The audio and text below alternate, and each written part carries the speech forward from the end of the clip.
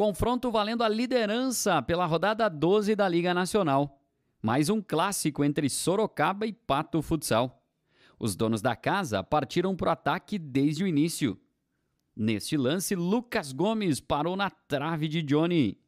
Só dava Sorocaba. Até que nesse chute de tom, Deco defendeu e Neguinho foi deslocado dentro da área. O juiz não marcou pênalti. Logo depois, o Pato teve Caio Barros expulso e com um homem a mais, Elisandro fez 1 a 0 Sorocaba. Muita vibração do time paulista com o gol. No segundo final, Neguinho cobrou falta que parou na trave. Na segunda etapa, só deu Sorocaba. Lucas Gomes viu o espaço aberto, avançou e mandou de bico, 2 a 0. Na cobrança de escanteio, Rodrigo bateu e Genaro desviou para o gol. A arbitragem deu gol para Rodrigo, 3 a 0.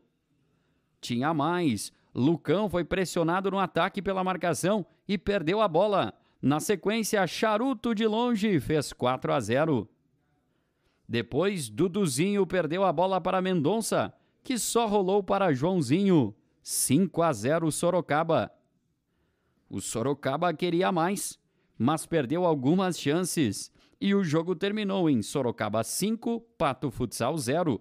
Sorocaba líder e o Pato agora na quinta posição. Primeiro tempo nós competimos bem, né? Até o finalzinho ali, um empate, aí com a expulsão do Caio a gente tomou o gol e vai pro vestiário com 1 a 0.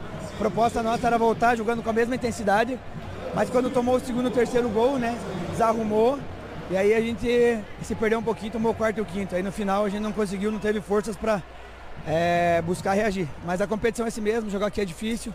Se dedicamos muito no primeiro tempo, marcamos bem, tivemos algumas oportunidades boas de sair na frente, mas não fomos capazes. E aí depois, no segundo tempo, quando tomamos o segundo e terceiro gol, realmente a gente é, desarrumou um pouquinho, mas o trabalho continua.